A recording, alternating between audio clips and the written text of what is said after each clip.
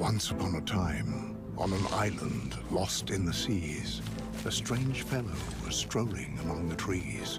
Wary, he felt danger coming from the dark. Appalling, monstrous things that plague and bark.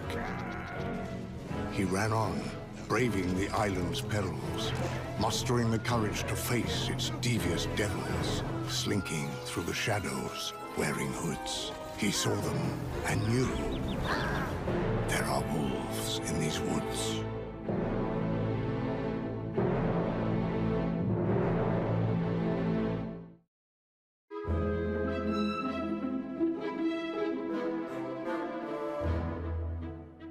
One day, you are strolling through the shadowy trees when your skin is caressed by a shivering breeze. Unseen, you watch them lurking around. Be swift, be quiet, lie on the ground. Put on your magic paint and disappear when the dreadful shadow passes near. Whistling in the wind, he hasn't a clue. It's your turn to be the trickster. Boo!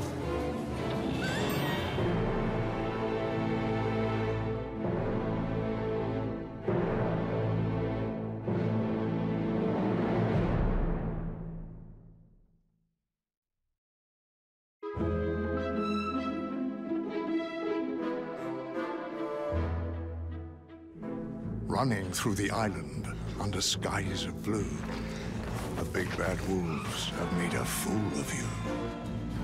Scurrying away, down the slope you fall, sliding and rolling just like a snowball.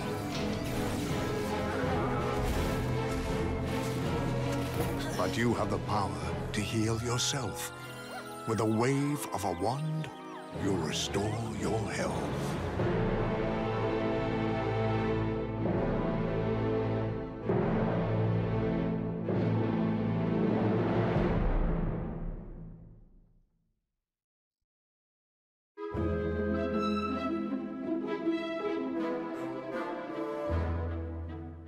In a magical kingdom far, far away, you were wandering on a beautiful day.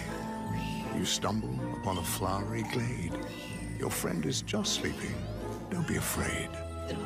But as the sleeper did not stir, you stole him from where his dreams were. The power of magic is all it will take with a strike to the heart. Now he's awake.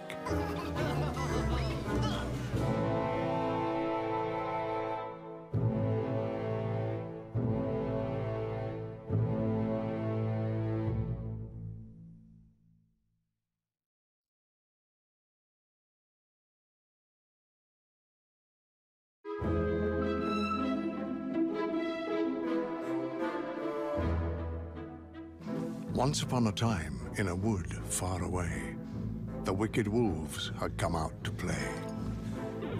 But they were not ready for the three little drones, for the day had come to leave their homes. No more let me in, let me in. No more, not by the hair of my chinny chin chin.